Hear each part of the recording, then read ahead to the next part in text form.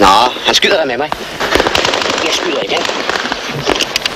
Så, så, så er vi færdige. Ja, det var flinkt. Kom så, Marcenikken. Skal jeg have arsenik? Det er kun i de to tænder, hvor nerverne skal dræbes.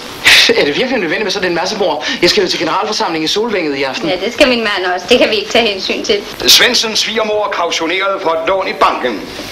Johansen måtte flytte sammen med sin mor, der præsterede udbetalingen. Henriksens kone har genoptaget sit gamle erhverv som tandlæge. Og hvad mig selv angår, som hun sagde, så har hverken min kone eller datter fået nyt tøj det sidste år. Så de kan forstå, herr visborgmester, det har været et hårdt job for os mandfolk at gennemføre sagen. Øh, Indrømmet, men øh, så må jeg også være sød og gå. Uh, mangler du et spejl? Hvorfor sidder de med den tallerken? Hopper. Ah, pjat. Legitimation.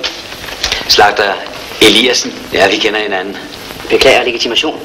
Jamen, de kører da alt deres kød hos mig. Kød er ikke legitimation. Nå, jamen, vi står da også i samme kompani i hjemmeværende, ikke? Legitimation. Jamen, ja, her.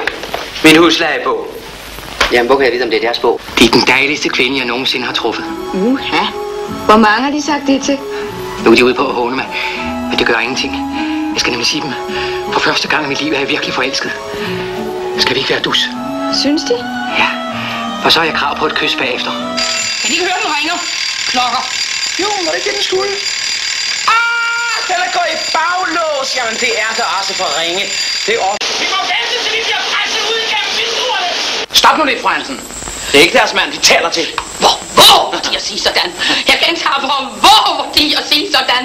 Her står jeg som en alvorlig tænkende husmor, og jeg taler